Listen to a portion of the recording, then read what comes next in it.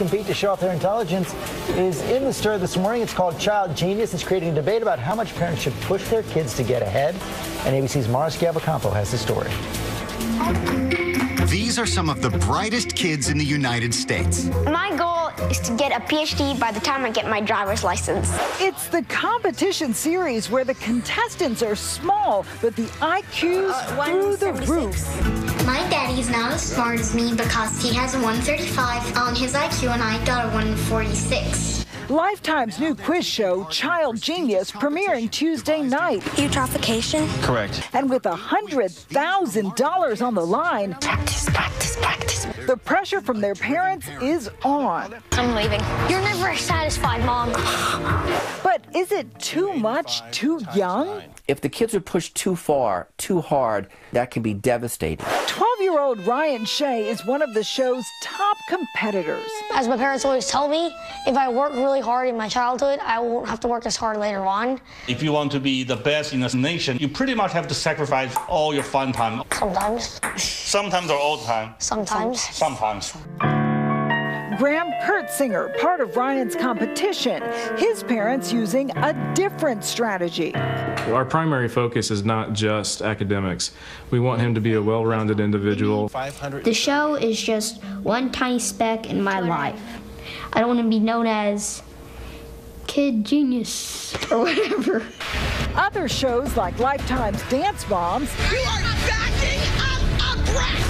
and Fox's Master Chef Junior That is embarrassing. also featuring preteens who some would say are often pushed to the breaking point. Oh my God. But parenting experts caution it's just a game. But the important part of it is to be able to play the game and win or lose with grace. For Good Morning America, Mara Schiavocampo, ABC News, New York.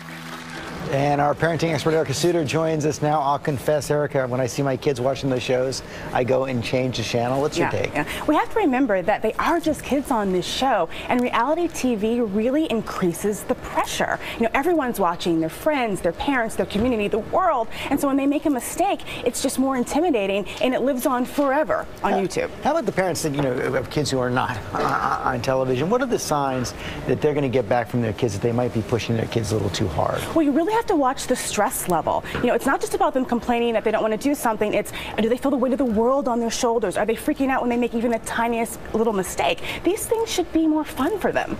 But then, so it's, it's kind of hard, though. You want your kids to do as well as they possibly can, to work as hard as they possibly can. So what, what, what's your advice to, to parents on, on how far to push your kids? Well, there are three questions I think parents should ask themselves. Number one, are they pushing them too hard? Too many extra practices, too many extra whatever. You know, number two, you know, are the kids having fun? There should be some enjoyment out of it. And maybe the most important, are your kids feeling good about themselves? These activities should increase their pride. They should be proud of what they're doing and help build their self-esteem, not make them feel yeah, bad. you have to have that feeling of mastery. The more you work at something, the better you're going to do. You do, you do. You really have, your kid should be becoming a more well-rounded person by doing these activities, not feeling like I didn't score that goal, I'm such a loser, this is horrible, or I didn't win the competition.